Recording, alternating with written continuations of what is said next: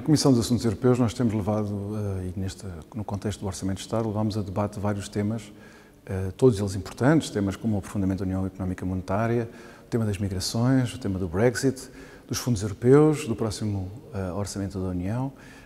bem como as negociações com o Mercosul. Mas houve um tema a que demos um destaque muito particular. Um tema que, pela sua natureza e pelo seu conteúdo, envolve questões que tocam no núcleo da soberania nacional refiro-me à decisão que o Governo tomou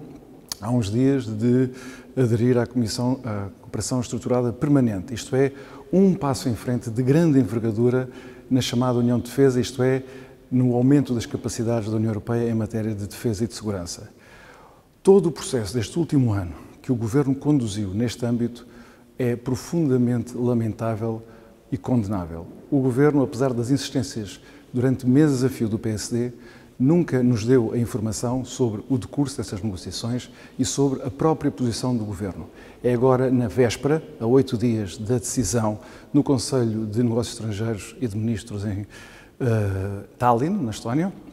que uh, Portugal toma essa decisão e agora o Governo vem, na véspera dessa decisão formal, uh, fazer um simulacro de transparência e de concertação. Foi exatamente o contrário que aconteceu nestes últimos meses. Esta é uma matéria que terá consequências no curto, médio e longo prazo de enorme envergadura, não só para a Europa, mas também para Portugal. A conduta do governo, ao furtar sistematicamente, recorrendo a todo o tipo de truques e de artimanhas, furtando-se a esse debate, teve de ser e continuará a ser eh, objeto de censura e de repreensão por parte do PSD.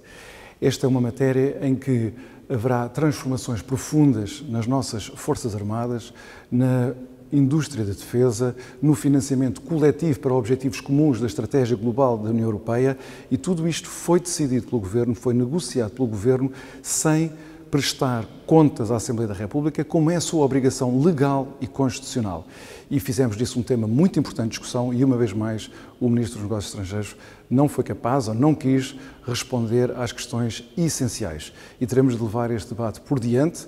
porque não aceitaremos que o povo português e o Parlamento sejam excluídos de uma decisão tão importante e tão estruturante para o futuro da Europa e de Portugal.